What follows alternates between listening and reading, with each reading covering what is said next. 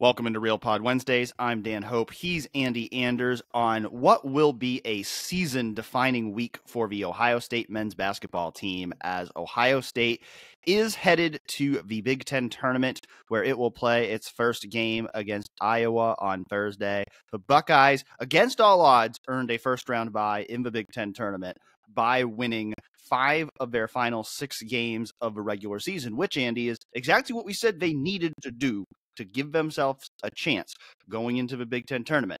And we're saying there's a chance. I, I, I do believe that this team has a real chance to make the NCAA tournament, but it has to win at least two games in Minneapolis this week, starting with a second round game against Iowa on Thursday, and then continuing with a quarterfinal game against Illinois, who's a top 15 team in the country on Friday. So uh, the path appears to be there for Ohio State, but actually accomplishing that path is certainly going to be easier said than done.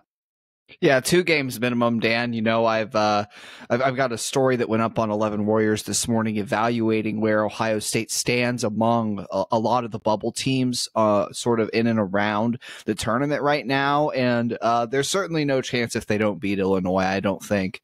Um, ultimately, you have to beat Iowa first to beat, then beat Illinois. But uh, it there is uh, just looking at the bubble this year it's it's pretty densely packed. I mean even you you look at a team like uh, colorado who's considered last four in by joe lunardi of espn jerry palm of cbs sports and the bracket matrix aggregator which uh, takes i believe it's 114 projections now and looks at them all and combines the results. Um, and just looking at that you know that's that's a, so that's a last consensus last four team in. Um, Colorado is 27th in net rank. Uh, Ohio State's 54th. They have a 22 to 9 record. Ohio State's is 19 and 12 at this point. They have seven quad two wins to Ohio State's two and only one fewer quad one loss. I mean, that's that's the kind of teams that you're trying to stack up against here. And to get in those discussions again, you need those two victories, and you probably need some help. You need some key teams to lose early in their conference tournaments because you got to keep in mind, with the exception of Indiana State, pretty much every single bubble team is still also alive in their own conference tournaments, which that is another loss that complicated things for Ohio State, unfortunately, already complicated enough the tournament path.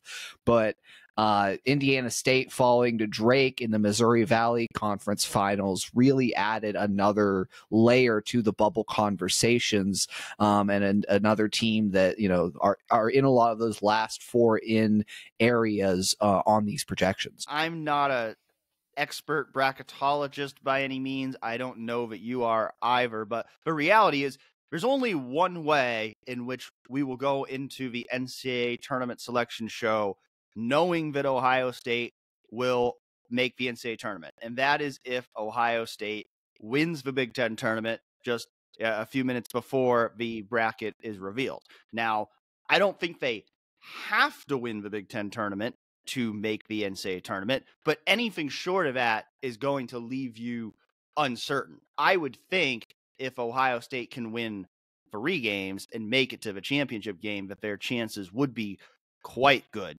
I believe that you know even if they just win two games, that they have a strong argument in their favor. Even if you just look at just recency. I mean, if, if they were to let's say they were to hypothetically beat Iowa, Illinois, and then lose in the semifinals, they would have won seven of their last nine games at that point, clearly playing better than they were playing earlier in the year. They would have 21 total wins. They would be up to four Q1 wins, including uh, a, a, win over Illinois that would join, you know, a win over Purdue, which could be the number one seed in the entire tournament if it wins the Big Ten tournament. Uh, you have a win over an Alabama team, which has gotten uh, stronger as the year has gone on. And so, you know, Ohio State has those big wins on its resume with the potential to add more this week to strengthen its resume. And that was something that Jake Diebler cited on Monday when he was asked whether Ohio State should be in the NCAA tournament conversation. A couple of our top wins would stack up against anybody in the country. And we've now stacked together some road wins, and you know also the momentum that we're, we have and the way we've been playing lately. I think there's a lot of positives that you know would, would help our case, but I, I would ab- absolutely we deserve to be in the conversation, and that includes the, the total body of work couple observations coming off of that you know sitting in the press conference i think a lot of times one, of the things i've really really appreciated about jake is his openness and honesty about some of these topics when he's talking to us. You never get the sense that he's being an authentic and, you know, not that a lot of coaches lie to you in pressers per se, but they won't give you the whole truth. They won't tell you about conversations that go on behind the scenes. Jake is really good about being open not only with us, but with Ohio State's team about embracing the stakes of games like these that are coming up. And I, I think that plays into some of it here where, you know, um, he's willing to stand behind his guys and say, absolutely, we should be in this discussion. I, I, think, you know, and this isn't necessarily another knock on Chris Holtmann. There's other, there's plenty of things we can knock Chris Holtmann for. Um, you know, given uh, how his tenure unfolded and everything. But I, I think, you know, Chris wouldn't, I don't think this is something Chris would have said. Um, and that's, you know, each coach has his own approach to the media. That's to each their own. But to, to be this confident about, yeah, we deserve a shot. We deserve to be in the conversation. I, I really liked it from Jake. And I think it's something, you know, standing by your team that I'm sure players appreciate as well. Um, as far as how you actually get there, you know, like he said, he hasn't dove into all the metrics. To your point, Dan, I think late season momentum is super important in in these um in just how you enter tournaments, how you make your run through the conference tournament. You know, you, you want to be entering your conference tournament on a on a winning streak rather than a losing streak. And Ohio State is right now, four game winning streak. Putting that aside, though, I'm not sure how much the selection committee is going to weigh when you look at Ohio State. Hey, they've made this great run since Jake Diebler was hired. And this is again assuming they win those two games because again they don't have a case. So we're we're just going to operate under the assumption that they win those first two games in the tournament because I, I, I there's just not much of a shot without it when you're talking NCAA tournament. But assuming they win those two games, they're the the turn the committee is supposed to look at the full body of work of the season. And so you wonder how much that run influences them. Does it give Ohio State a leg up? I'm not so sure, but if if it does, if that is something the committee is going to look at and take into account, I think it can be a separator for them from other bubble teams who maybe didn't close their seasons as strong. Hard because I think we would probably both agree right now. The way Ohio State has played since Jake Diebler took over, Ohio State has been one of the 68 best teams in college basketball, right? Mm-hmm. Right. Absolutely. Were they over the entire body of work of a season? That's that's hard to say right now, and it, it, it certainly is going to depend in large part on how this week goes. Like you said, it's going to depend in part on how the week goes for all of those many other bubble teams too. And so, you know, we might have a clearer pick. You know, let's say Ohio State does lose on Saturday. Then in that scenario, then we'll be able to then kind of look at the bubble again, and we might have a better idea going into Sunday of what Ohio State's chances are of actually getting in the field. Either way, if if if they you know win you know two or three games in a Big Ten tournament, it's going to be close. Like there's going to be intrigue going into Selection Sunday on whether or not Ohio State is going to make it. The good news is Ohio State has given itself a chance, which the way things looked a few weeks ago, it didn't even feel like we would be having this conversation. You know, a few weeks ago, it felt like we would be just be talking about this is going to be the last week of Chris Holtmann's tenure, and then it's going to be a new era for Ohio State basketball. Now we're talking about hey, Jake Diebler has has injected some energy into this team.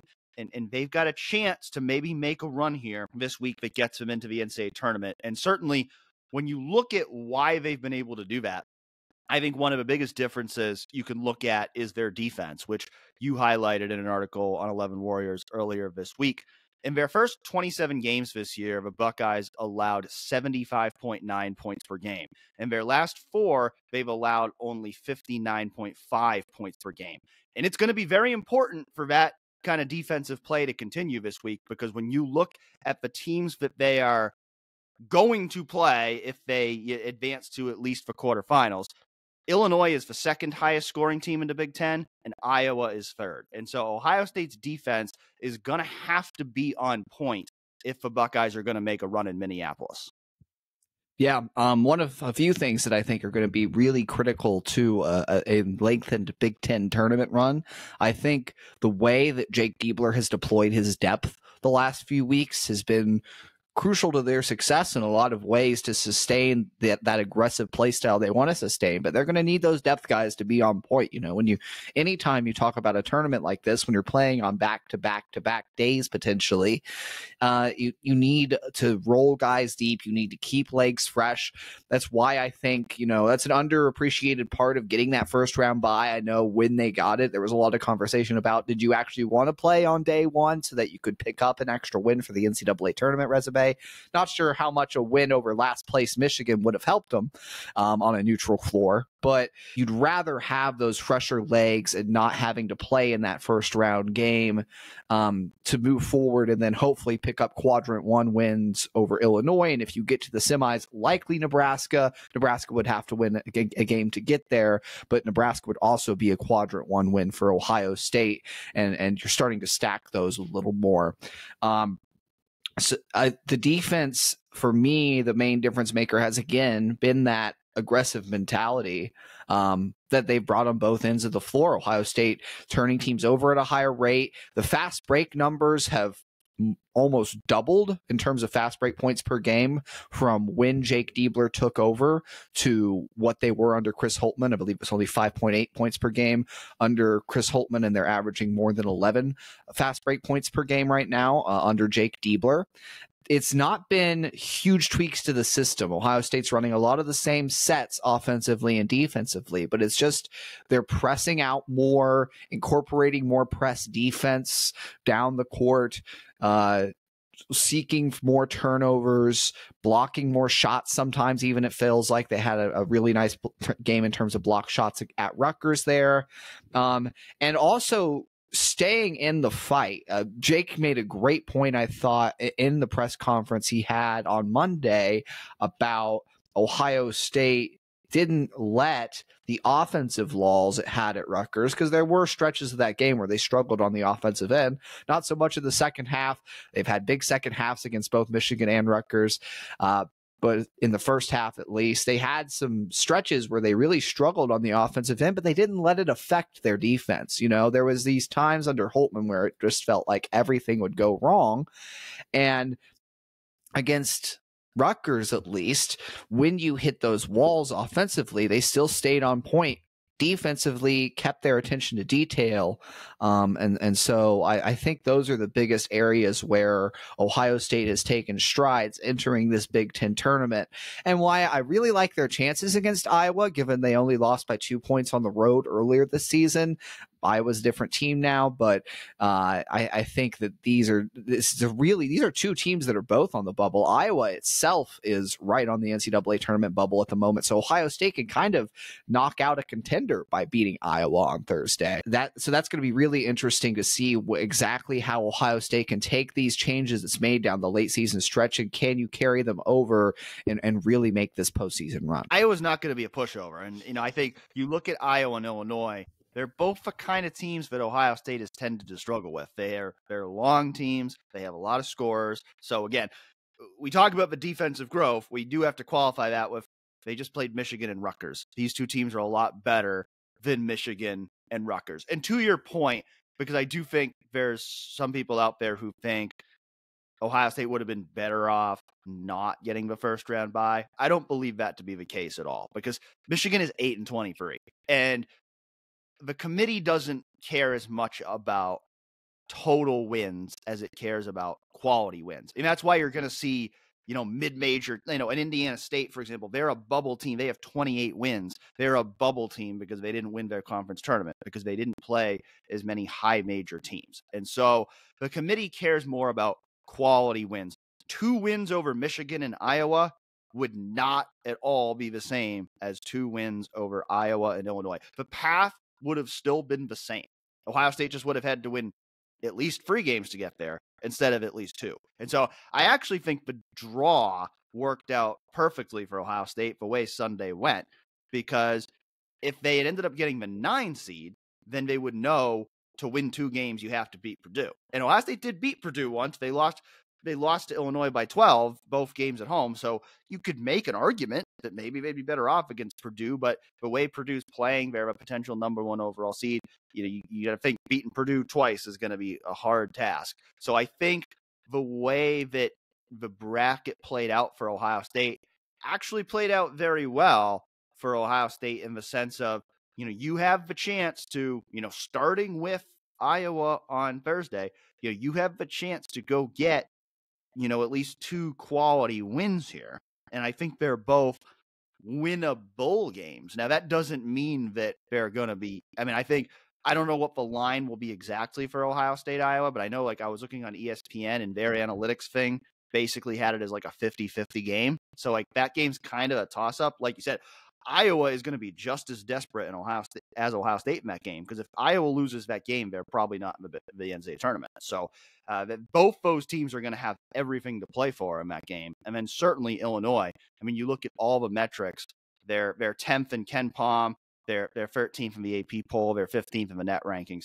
That's not going to be an easy game. So uh, the the path is not easy here for Ohio State, but the way that Jake Diebler has gotten this team playing makes you feel like any game is winnable. You know, and I think the way that they've finished games, the way that they've shown that when the game is on the line, you know, you go back to the Michigan State game and, you know, being able to come back in the second half and pull that one out at the buzzer, you know, to win that game when we have seen so many games, especially late in Chris Holtmann's tenure, where the team would wilt down the stretch. And then the last two games, again, you have to qualify it with it was Michigan and Rutgers, but to just dominate those games in the second half and take control the way they did, it's what you want to see. And it feels like this team, you know, is peaking at the right time here going into the conference tournament. And so, you know, it, it's going to be an, an interesting week in, in Minneapolis, but it, it's certainly uh, a much better thing if you're an Ohio State fan to, you know, at least go into this tournament feeling like, hey, we've got a shot rather than feeling like we need an absolute miracle. I, I, think toward the end of Chris Holtmann's tenure, the word I kept using was apathy. And I think there's the opposite of that now in this fan base. People are very interested. I think they're galvanized uh, in a lot of ways by the energy that this coaching transition has provided to the team, to the program. Um, and, and there's real intrigue now in watching Ohio State basketball. And even if they ultimately lose to Iowa on Thursday, and uh, end up going to the NIT. I, I, think that there's it's very commendable what Jake Diebler has done here. He's coached his way into what I would assume to be at least a uh, mid-major job. But Dan, there's a lot of people already calling for Jake to be in the permanent head coaching discussion. Now, we've talked about that before, and I think that, you know, we're still of the opinion that Jake's going to need to win more games, especially with a new athletic director coming in than what he's done so far. And that un- unlikely still NCAA tournament run might be required. And then not only that, but winning some games at the tourney um, to, to get him real consideration. Still, uh, he's he's definitely turned some heads. But we found out more about the coaching search in the last few weeks generally. Um, one from multiple sources that we've heard now is that Dusty May is emerging as the front runner, whereas might have been hearing more Sean Miller before.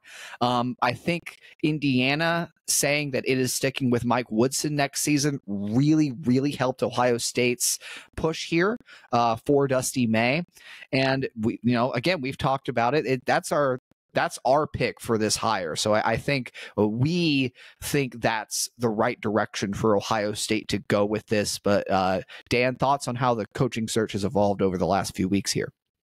Yeah, well, you know, you mentioned Jake Diebler, and I, I do think like you know, if you polled Ohio State fans right now, he might be the most popular choice, and that just speaks to how well the team has played the last few weeks, how impressive this turnaround has been under Jake Diebler, and so I think that support from fans is well deserved and well reasoned.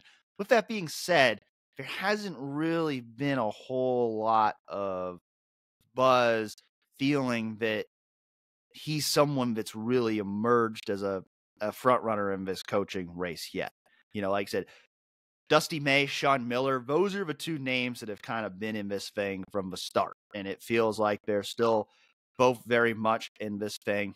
Um, one of our staffers also heard earlier this week that Nate Oats is also getting some consideration from Alabama, and uh, it's uncertain whether he would want to leave Alabama to to come to Ohio State. But uh, he's a guy that is also emerging as a potential candidate in this coaching search. And so, you know, if I was handicapping it right now, if I was setting the betting odds, I think Dusty May is probably the betting favorite for this job at this point. And and like you said, I mean, I, to me, I think that would be a very good hire. Like he was the guy. Like when I started thinking about coaching candidates week before weeks before Chris Holtmann was even fired, he was the first name that came to mind for me because of what he's been able to do at Florida Atlantic over the last couple years. And you got to think if he can do that at Florida Atlantic, if he could take Florida Atlantic to a Final Four, a, a school where he's not getting a ton of top recruits, but he's just managed to build a team that is really good.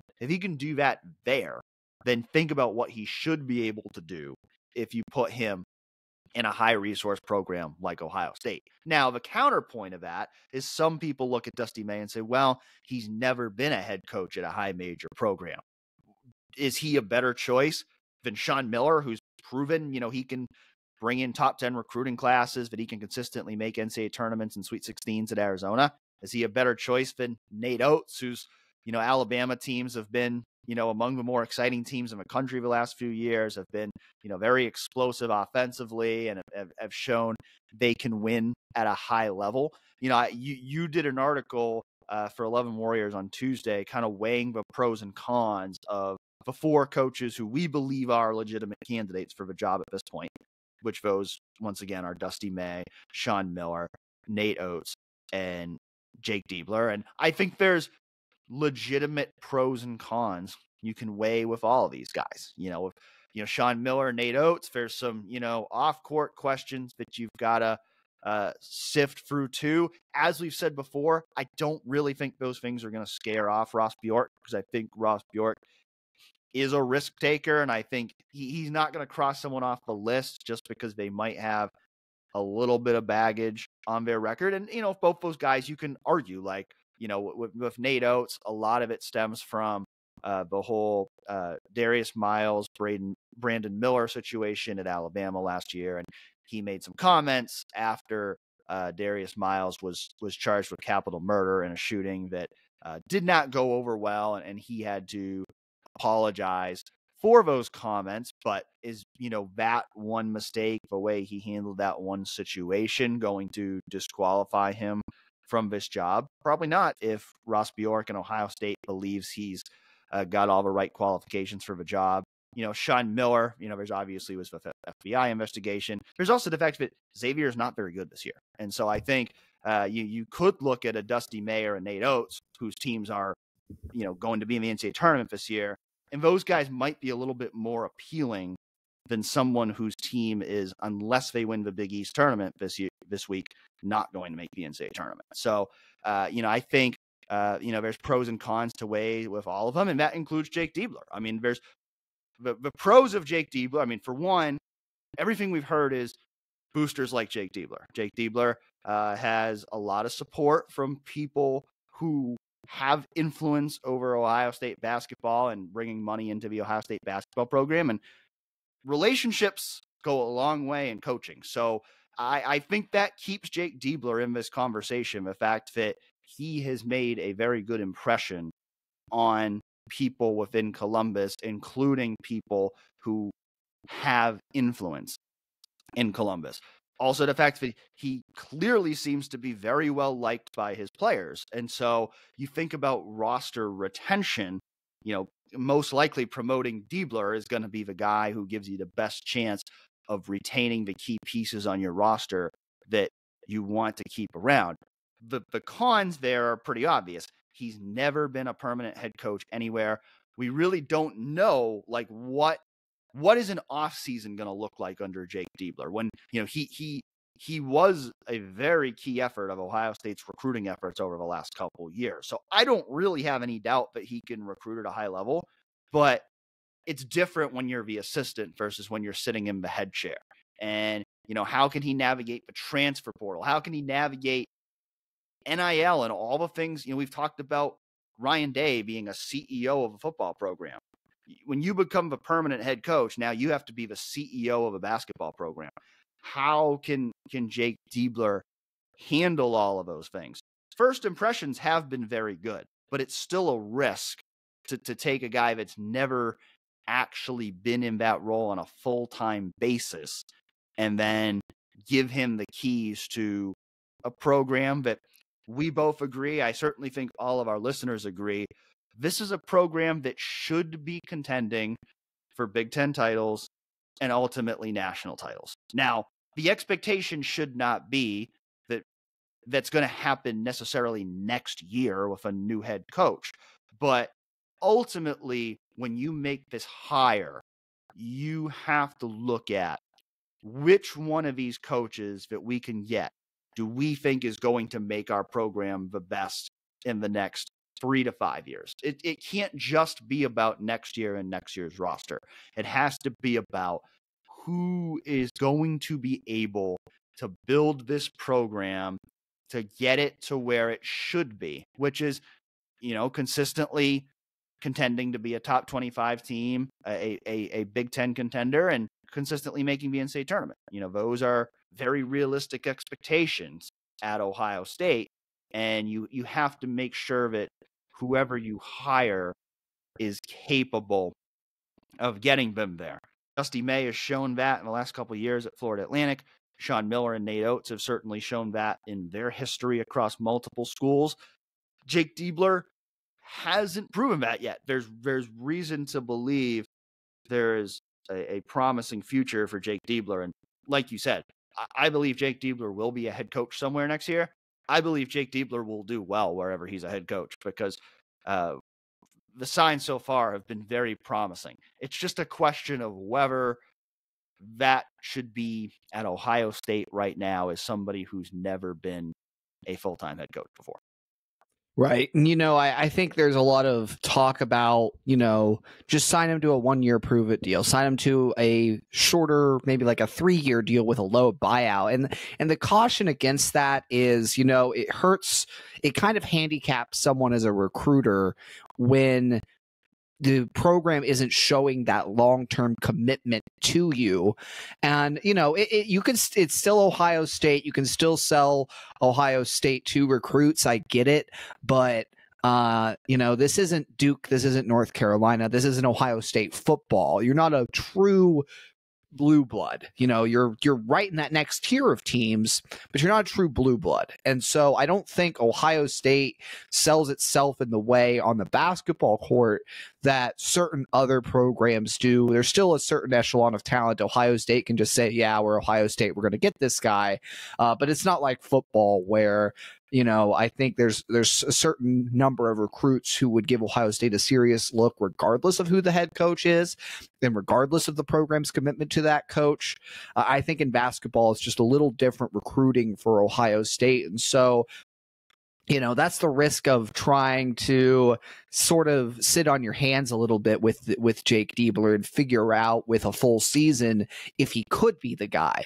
I, I don't think you want to waste that time um, if you feel like you know if you don't feel confident that he is is the guy. If you're going to rebuild with someone who's already proven they can do it, like a Dusty May, like a Sean Miller potentially, like a Nate Oats, you want to start that as soon as possible. And um, so, so from my perspective, I don't like the idea of just keeping Jake around um, on a, a short term short term deal like that. If you're going to make a commitment to the guy, make a commitment to the guy. He doesn't need to be a Chris Holtmann six year extension with millions and millions of dollars on it. I'm not saying that, but y- you need to give him a true longer term commitment for recruiting purposes if he proves to be the guy you really want. And, you know, it's important to have the backing of boosters, the backing of fans. Like we said, I, I agree with you, Dan. If we polled fans today, I think a, the, the largest percentage of votes for who should be Ohio State's next coach would probably go to Jake Diebler right now. Just even from what I've seen on, in, on Twitter in our 11 Warriors comment sections. But administrators have to have this perspective of, ultimately this is just a six game run that that Ohio State's been on. Is as great as they've turned things around under Diebler, as refreshing as it is to see this team play with some energy and win basketball games and not fall apart down the stretch when they've done it for the past two seasons, you have to take a breath and say, hey, they're the, how sustainable is this, right? You, you you don't know. You don't know because the guy that's leading the charge doesn't have a track record um, yet. It, like you said, I I fully believe he's going to go somewhere, and I really think Jake Diebler could be a great head coach someday. But I, I unless again there's more achieved at the end of the season where he says, "No, I am the head coach of this team." You know, I think again that Sweet 16 is kind of where you you really start to look at it uh, realistically.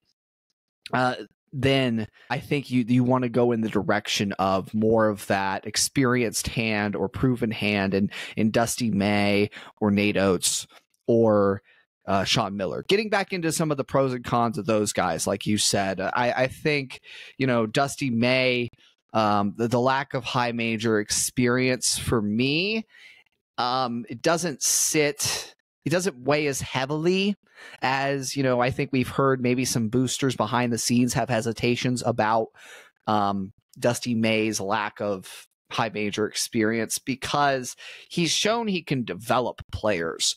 When chris holtmann was coming in from butler you know he'd only been there a few years and i i just didn't get the sense that while he'd shown improvements and uh, taken that program from a really bad low after losing brad stevens to where it was when he left, there wasn't this.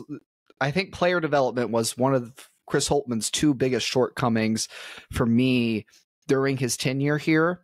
And Dusty May has shown he can develop guys at Florida Atlantic. I mean, you look at like a guy like Vladislav Goldin, who transferred in from Texas Tech, was basically a no-name player, and he's turned into a superstar for them. And uh, just the way that players have grown under his tutelage, that's the advantage of coaching at a mid-major is you get to demonstrate how over time you can develop talent.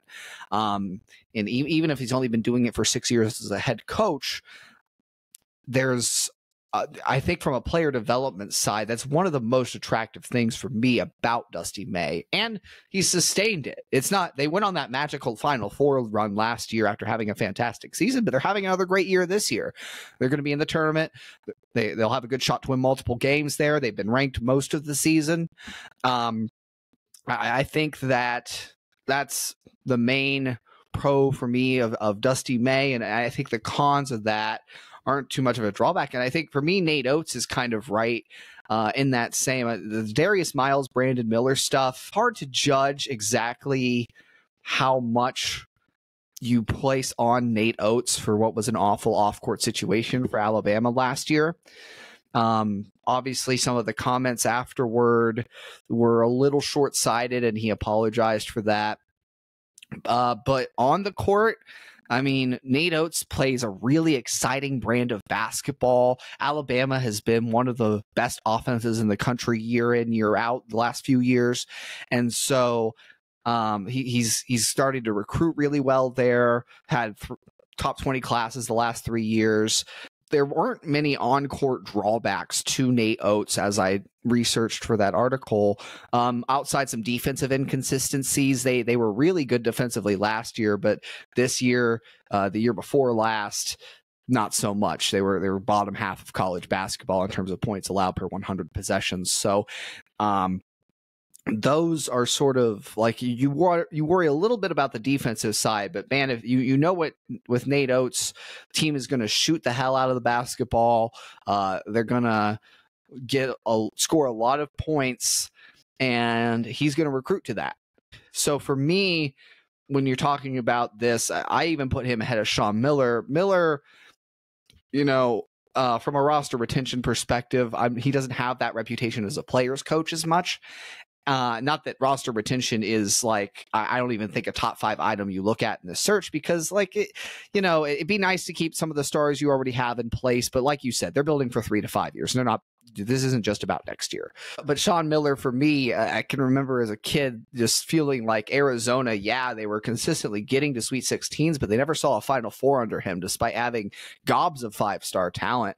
Uh, for for me, I, I always felt like Arizona could never clear a certain threshold under Sean Miller, and I also felt like based off the recruits they were getting, based off Arizona being a little more of a traditional blue blood than Ohio State in basketball, could had a maybe a slightly higher ceiling even. So I, I wonder what Sean Miller's Ohio State looks like long term. But you you know that there's a certain floor with him too because of the long track record he has. I don't expect Ohio State to miss many NCAA tournaments under Sean Miller, and and there's a certain you know, relief knowing that you have a guy in place that, that's at least going to get you to that level every year. So we, we both spent very long segments there talking about these coaches, but it's it's just how interesting this search is and the variety of candidates that have come forward.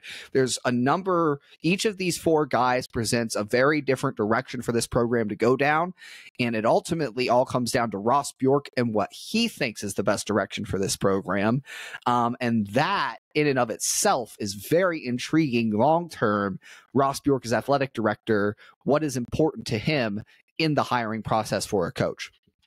Yeah, and Ross Bjork has to make a decision with conviction here. I mean, this is your your first big hire. Now, that doesn't mean you should give a 10 million a 10 year fully guaranteed contract to a coach like you did with Jimbo Fisher, but the, the one year prove it deal that should be a complete non-starter. You can you cannot do that. You have if you if you want to hire jake diebler you have to commit to him. If you were to make that move you would have to throw your support behind him and say he's our guy.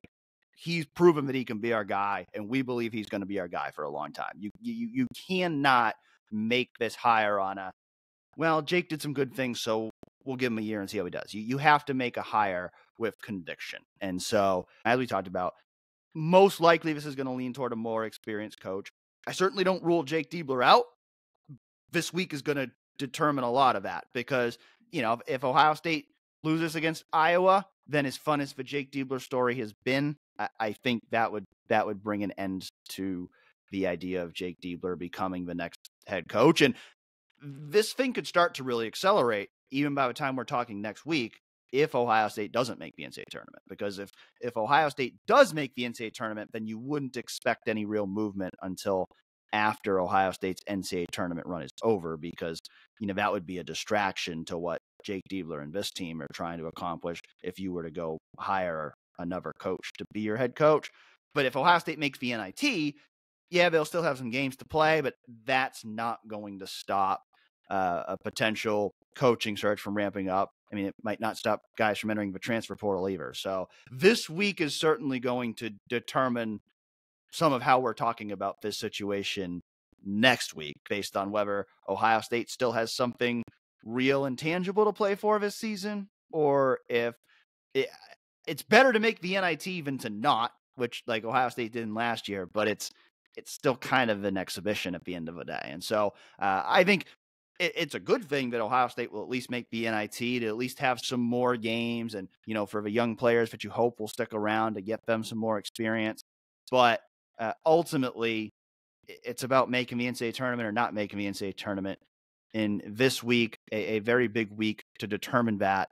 Uh, starting Thursday, when Ohio State will play Iowa on Big Ten Network at 6:30 p.m.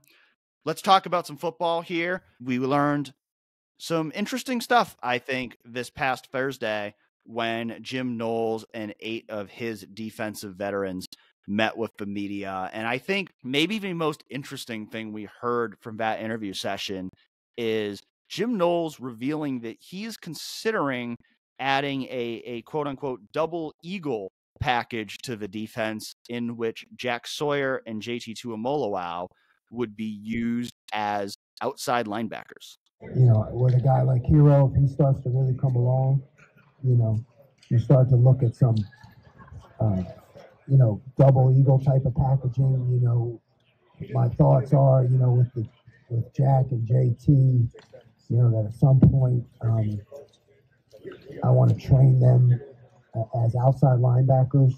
You know, so if you got Hero, Ty Lee can tie, and you get to you can get to more of you know, uh, you know five five guys, five D linemen in the game.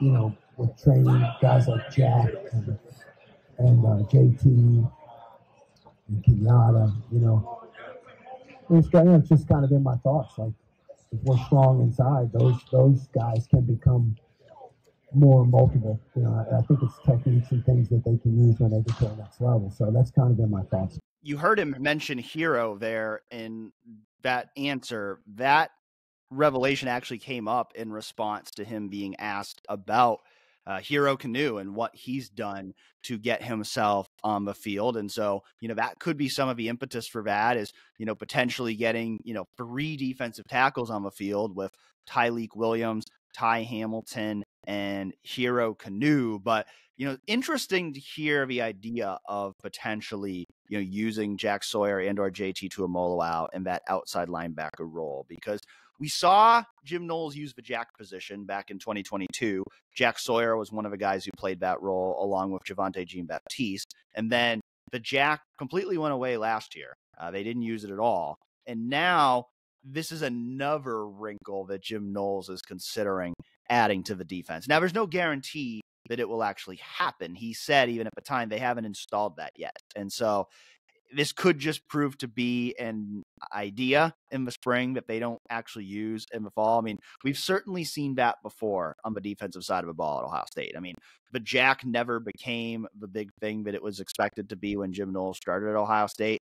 I think back to the bullet. I think that was back when uh, Greg Mattison uh, and Jeff Hafley started Ohio State. There was a, a lot made of the bullet, and Brendon White was going to play that position, mm-hmm. and then they didn't really end up using that either. And so I tend to lean toward thinking this is a fun idea we're talking about now, but we might not actually see a whole lot of this fall.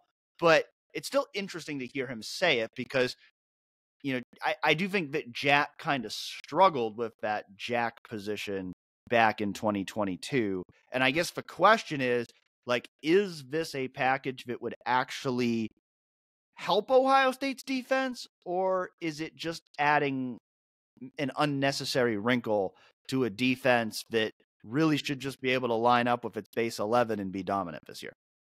The more I thought about it, you know, it's funny. It kind of brings me back to my high school days. My my high school defense, we ran a five-two. Um, that was our base, where you had a stand-up linebacker on the end who had who's mainly there for um, to defend the run, to um, rush the quarterback, but then also had some coverage responsibilities if a tight end goes out for a route or something. I think, you know, the way this is this is going to look, I think for people maybe that are unfamiliar with this kind of package is you'll have the three defensive tackles with a hand in the dirt. You'll have a defensive end, either JT Tuimoloau or Jack Sawyer with a hand in the dirt. And then you'll have that stand up outside linebacker uh, who, you know, you, you kind of shift it based on the offensive front you're seeing, usually to the tight end side. Um, and I, I, kind of this is an idea that I think is definitely more like you'd see it against some of those heavier run teams, like a Michigan, people that like to go 12 personnel, multiple tight ends. Um, I, I, the, the hesitation that I have with it, like you said, Dan, and again, to your point, who, who knows how much this will actually be deployed in the fall? We, we've heard a number of ideas from Jim Knowles uh, over the last couple of seasons some we've seen play out, some haven't. Um, you know, like the jack position last year, using, uh, you know, the talk was with Mitchell Melton and C.J. Hicks, and the, that never came to fruition, right? So, we, you, you always you take this with with that in mind, but um, I, I think Jack maybe with a year has added back to his toolbox some ability to go from a two point stance and play in space. Now he did he did do some two point stuff last year, not from like an outside linebacker position, more like true defensive end, just standing up to maybe change kind of the angle of a pass rush or something.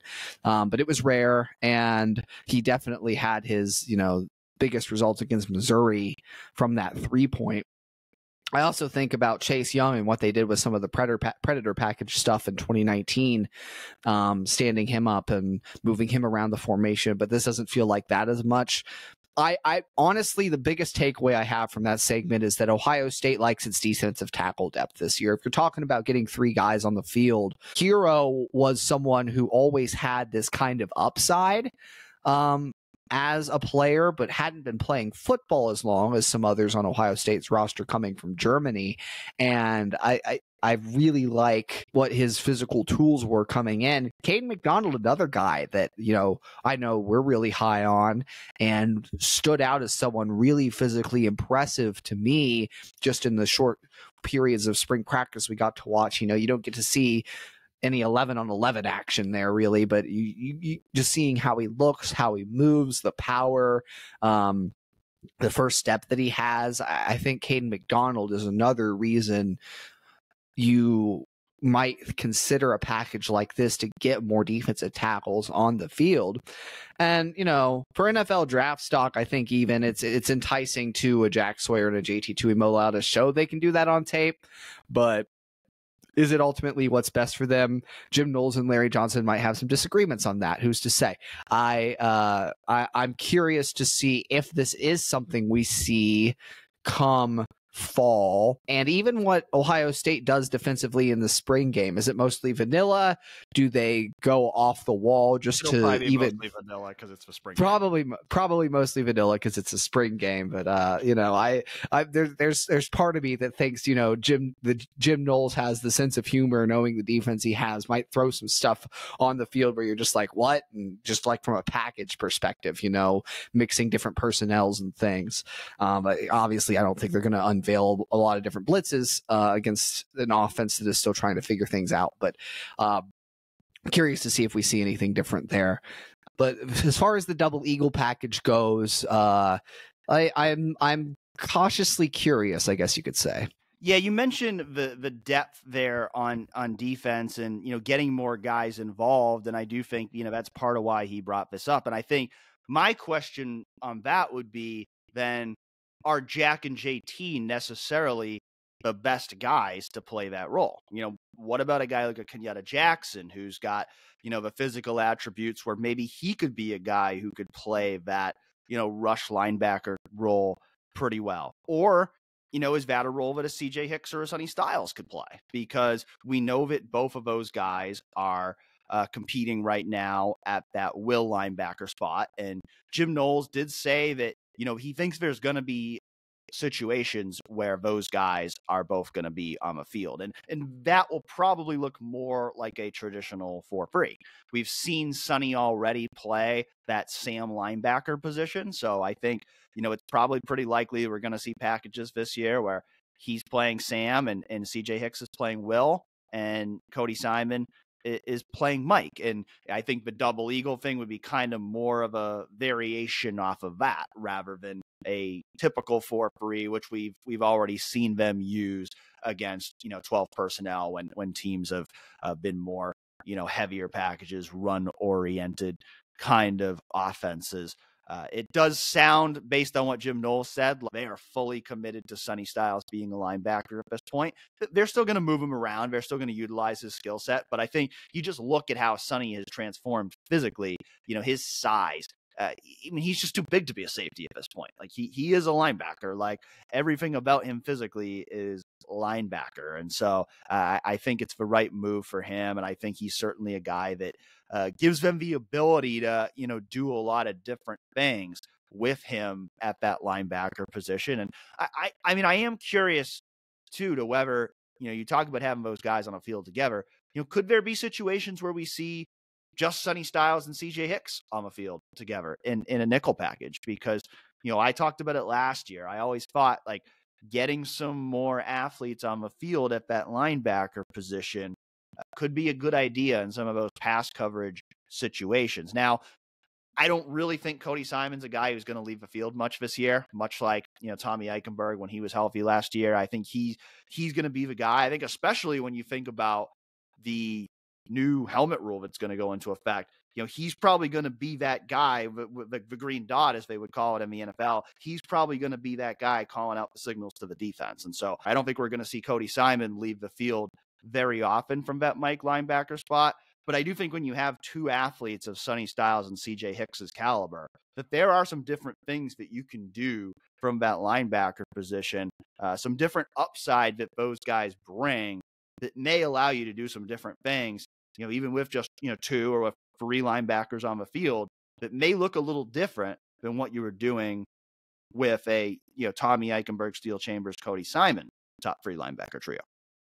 I think that's an excellent point. You know, Cody Simon's a much better run defender than he is a pass defender, I think. And um, I think CJ Hicks coming in, like I, I even reflect back on uh, just what he did in the on the camp circuit as a recruit, covering running backs, covering tight ends. He's always been great, you know, with that athleticism, kind of in space covering guys.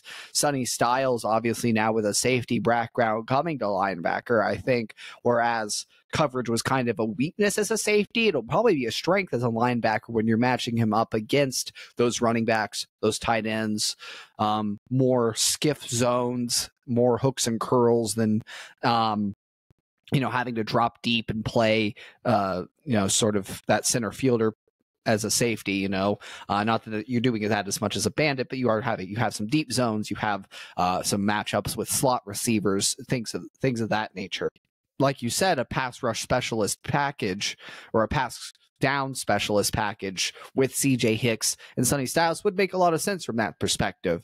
Um, I, to your point too, Cody Simon is going to be leading the charge at linebacker, so we'll see how much that actually plays out. A guy that on this defense that you always love talking to that I found a lot of intrigue talking to, especially uh, this past week was Denzel Burke. I mean, it, it, this guy, I, am not sure he has an inauthentic bone in his body.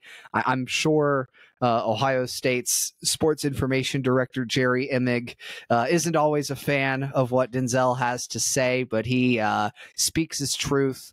Uh, a guy who, you know, certainly isn't willing to shy away from what he expects for Ohio State in 2024. Yeah, it's definitely uh, Nadir buzz, man. That's our mentality. Um, you know, no excuses, man. We got to win it all. We got to win it all, and that's what we've been trying to we've been trying to preach that every single day. And um, you know, our goal is to go out there every Saturday, hold each other accountable, play hard, and make plays and turn the ball over.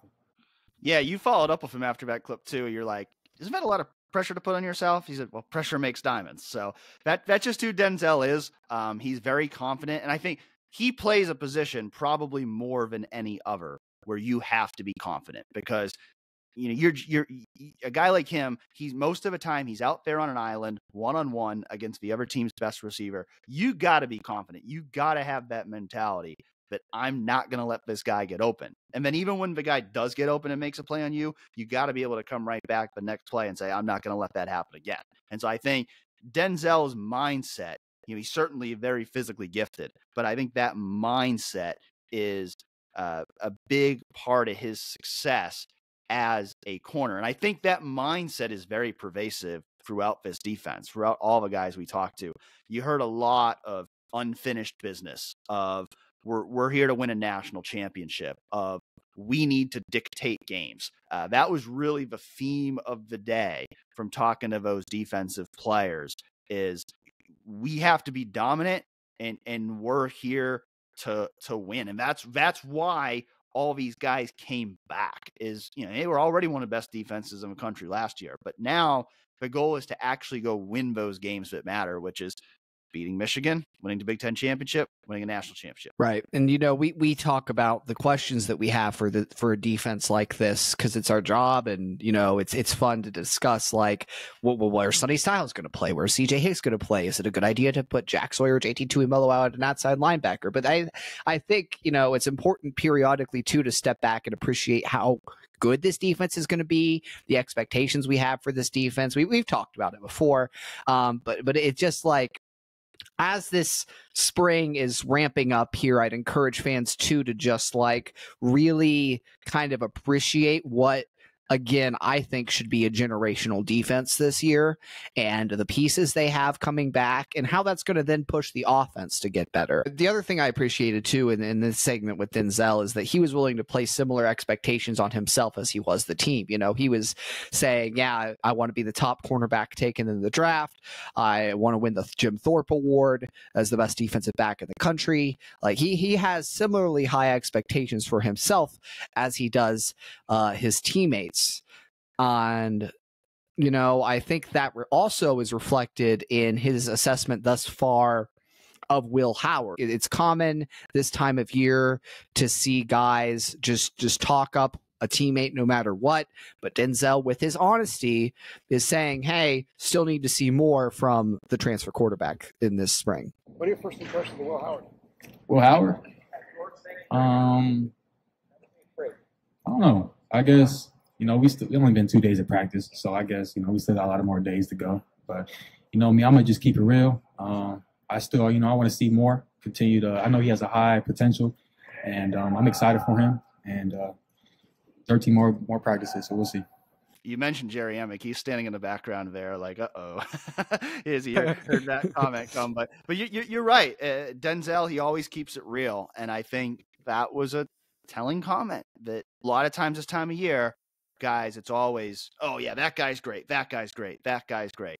And he was like, mm, I got I gotta see a little more. Now, I don't think anyone should press the panic button yet. It's only been two spring practices. There's a long way to go between now and September. But I do think that comment was a little bit of a, a dose of reality on Will Howard to where it's like, if you're expecting him to come in and be Justin Fields or to be CJ Stroud right away, that might be setting the bar a little bit too high for what to expect from Will Howard. I mean, just based on what he did at Kansas State, it would take a significant jump for him to get from there to where, you know, those guys were as Heisman Trophy finalists as elite quarterbacks who went on to be first round NFL draft picks. So that's not to say that he can't get there, but there's there's a long way to go for him to get there and I think that was reflected in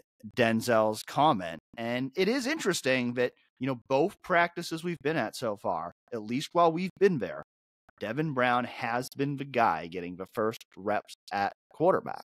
And so while I don't think either of us would change our opinion right now and say we we we don't think Will Howard will be the starting quarterback for 2024 this year, Ohio State is certainly at least creating the appearance of a real quarterback competition here. And from what we've seen from Devin, I mean, we've only seen him throw routes on air, so we can't we really haven't seen anything with our own eyes from Devin to really evaluate his growth. But so far, the, the, the reviews on Devin Brown have been positive to where if this is a real competition, he seems to be putting his best foot forward and doing what he needs to do so far to at least give Ryan Day and Chip Kelly something to think about. Yeah. Um, and I think there were questions about Will Howard that I had that um, others had as a passer coming into Ohio State. It felt like an upgrade over McCord, probably, but not like a huge jump guaranteed. Like he still, there was more he needed to prove uh, from a passing perspective. And clearly, two spring practices in, he hasn't just come out of the gates and immediately shown that. Not to say he won't, but I, I think, like you said, Dan, it, it's helped temper some of the expectations, helped give a dose of reality of, hey, you know, this is a guy that's going to have to first earn the starting job and then take a bigger jump. I saw a uh, I saw an interesting stat out there the other uh, day that it it there is an expectation on transfer quarterbacks to be the starter obviously when they go to a new destination. Of the top 15 quarterbacks in the 24/7 sports transfer portal last year 12 did end up winning or being given the starting job at their next destination. But there's still those three cases. And um sometimes guys surprise you. And I'm not going to write off what a year of development can look like under Ryan Day given his track record uh, perhaps even under Chip Kelly, given his involvement now in the quarterback room. Uh, so I, I, think there is a path for Devin to make a serious push in this competition, and we've seen him lead these lines uh, the pat, the first couple spring practices we've lo- watched.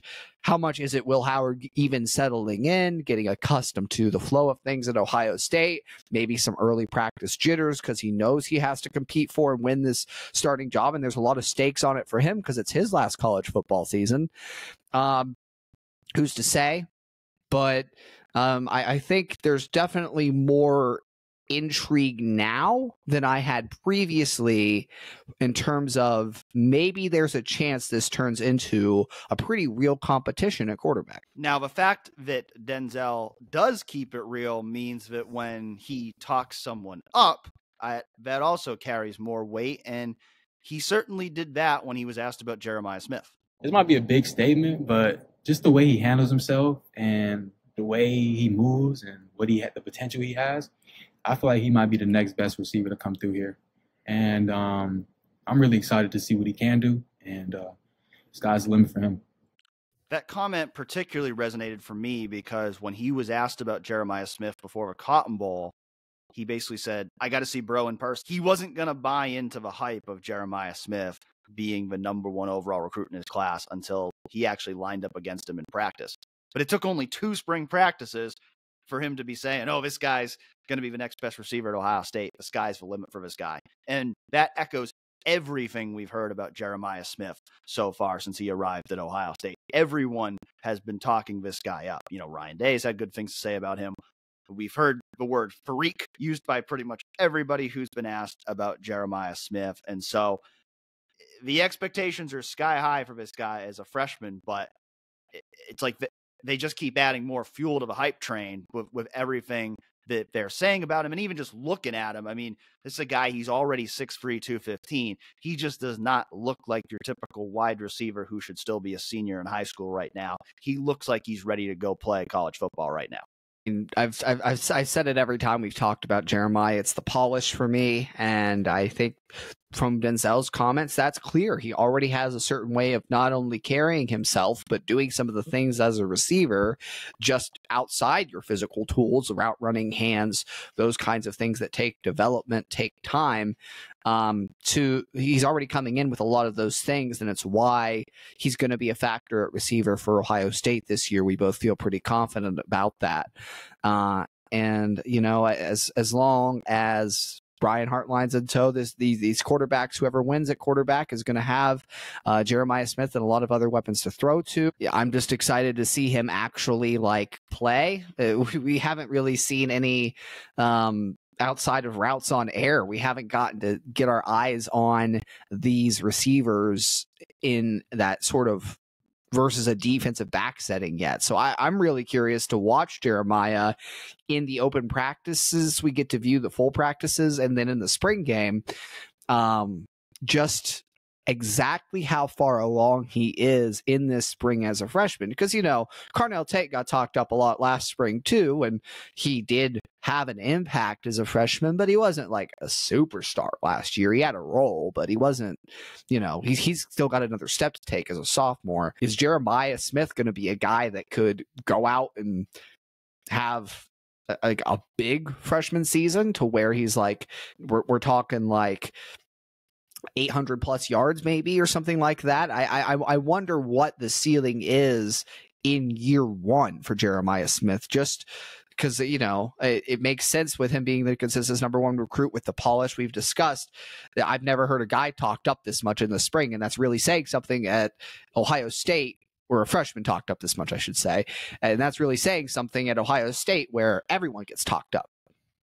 Well, you say the ceiling. I think the ceiling is very high. I think the ce- I mean the ceiling on a guy like Jeremiah Smith is extremely high. Now, you know, the, the, the, floor should probably be lower than than maybe people might think, just because he is a true freshman. So, I mean, I don't think that there's necessarily a, a floor that should be assumed with a guy who's a freshman, but the ceiling is extremely high because this guy is a rare talent. I mean, I, I wouldn't personally predict right now that he's going to have 800 yards as a freshman because either way, you know, he's going to be splitting targets with the likes of Emeka Egbuka and Carnell Tate and Brandon Inniss. And so if I was, you know, taking the over under on 800 yards, I would take the under on 800 yards. But uh, I, I, do think that the possibilities here are high. We've heard that term sky's the limit used for him a couple times. I don't think that we should set a ceiling on what Jeremiah Smith can be as a freshman because he's a rare talent. There's just not a lot of guys who are as gifted as Jeremiah Smith is. And so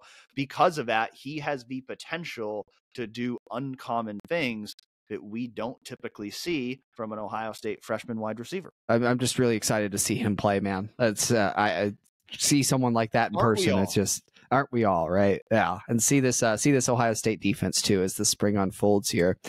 Uh, not all sunshine and rainbows for Ohio State sports uh, this past week, Dan. I think uh, I think we, we kind of jinxed uh, Ohio State's women's basketball and hockey teams. Not uh not not the exciting weekend that we were expecting, hope maybe hoping for from them. Um, the you know especially with the women's basketball team losing there in the quarterfinals of the Big Ten tournament in the fashion they did. But you know I think that's how it goes, and, and both those, those sometimes you play good teams, or even you know sometimes you don't get up for a game you need to get up for, and both those teams will be looking to bounce back in their respective uh, NCAA tournaments. But uh, it, I, I feel like we cursed them with, with how much we talked them up on last podcast, Dan. Yeah, we did. We did. We said it would be an exciting weekend for uh, those teams, and it, it did not turn out to be an exciting weekend for those teams. Uh, Ohio State women's basketball uh, playing really its worst game of the season by far, losing 82 to 61 to Maryland in its Big Ten t- tournament opener. Now, the good news is uh, they're, they're, still going to be hosting home games next weekend in the first and second round of the NCAA tournament. Uh, they're they're not going to be a number one seed anymore. They had a chance to earn a number one seed, and that's not going to happen as a result of that first game loss in Minneapolis. But they, this they'll still be either a two or a three seed. Uh, it'll be interesting to see their draw. You know, I know I was looking at one bracket projection earlier this week, and Ohio State was projected as the number two seed in South Carolina's bracket, which uh, frankly, Ohio State would be better off getting a number three seed in one of the other brackets because South Carolina has not lost this year. And so that would be kind of a worst case scenario in terms of trying to get to a Final Four in Cleveland uh, to end up in South Carolina's bracket. But, you know, I mean, this is a team when, when they're at their best. I mean, I, I do believe when they are at their best, they are capable of beating anybody. Now, I think what we saw on Friday is also what can happen when they're playing at their worst, which, uh, you know, eh, I think the the big thing that you worry about with this team, I think right now in my mind is rebounding. Uh, rebounding's been a problem for the Buckeyes all year. They've been one of the worst rebounding teams in the Big Ten, and it was a huge problem against Maryland as they were out rebounded 55 to 31 in that game. Uh, didn't have a good shooting game either. Went just 35.9% from the field. But, you know, that's going to happen. Every team's going to have off shooting games. You'd expect them to bounce back from that. But rebounding has been more of a persistent problem with this team. And most of the time when this team has lost games, it's been because they haven't been able to handle opponent's size inside. And I think you you couple that with some deficiencies we've seen in transition defense in the last couple games.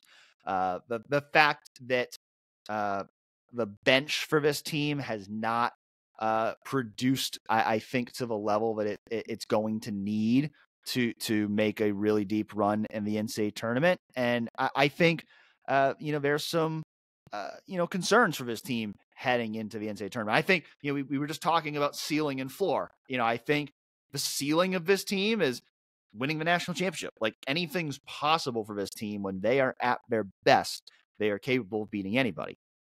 But you know, where's the floor? I mean, the floor could be getting upset in the second round. Like I think uh, a lot of that's going to depend on just how well you play. And granted, that's true for most teams in either gender in the NCAA tournament.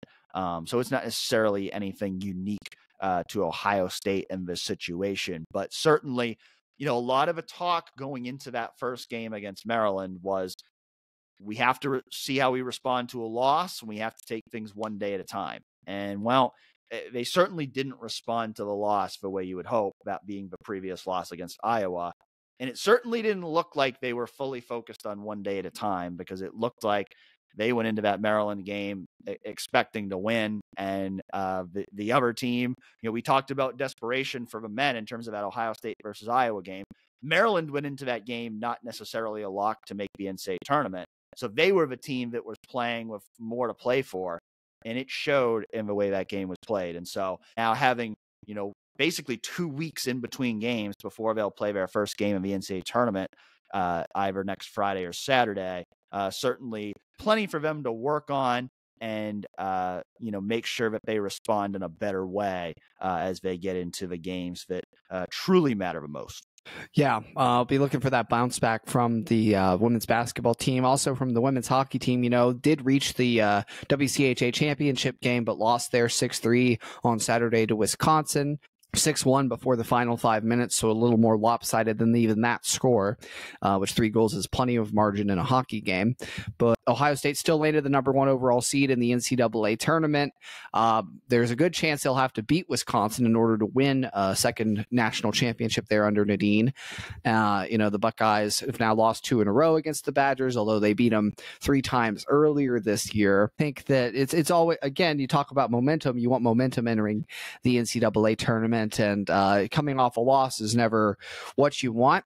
But uh, then again, you know, this is a team that's uh, achieved higher heights than anyone thought imaginable after, before Nadine Muzerall got there.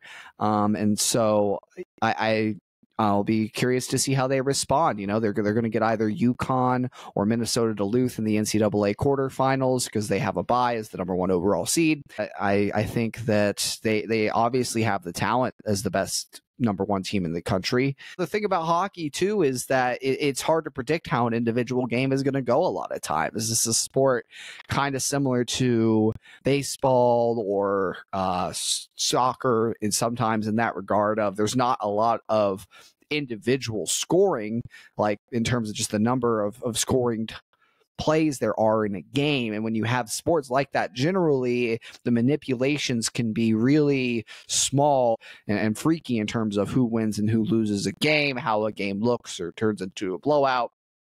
And so that's that's why you, you talk about the, national championship in women's hockey comes down to one game. It's not a series, and and that that uh, sort of plays a major role in is how wild tournaments can be. I mean, even in the NHL, the Stanley Cup playoff is known as one of the biggest parity tournaments in all of sports up there, even with March Madness in some people's eyes. And those are seven game series. So, um, it's always been one of my favorite things about hockey, Dan.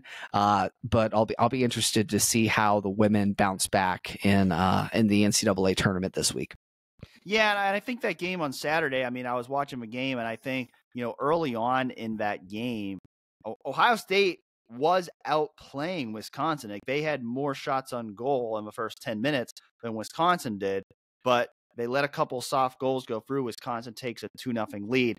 And I think it just kind of all fell apart from Ohio State from there. And, you know, this is a team that kind of like the women's team, they haven't faced a lot of adversity. In most games, they go out there, they dominate. They don't have a ton of experience playing from behind, and I think that showed in this game to where when Wisconsin got a got an early lead, it, it just kind of snowballed from there, and, and, Ohio State, you know, was not really able to to bounce back uh, from from getting you know, hit early and, and fallen into that early two goal deficit. And so I think certainly, again, it's going to be about how does this team respond? But, you know, they're more than capable of, of winning a national championship. They're, you know, like you said, hockey, there's a, there's a small margin for error in this sport.